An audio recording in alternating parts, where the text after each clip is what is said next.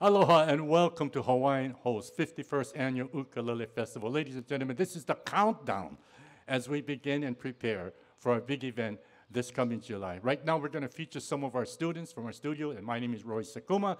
Here we go with a song I wrote some years ago entitled Ukulele Itch.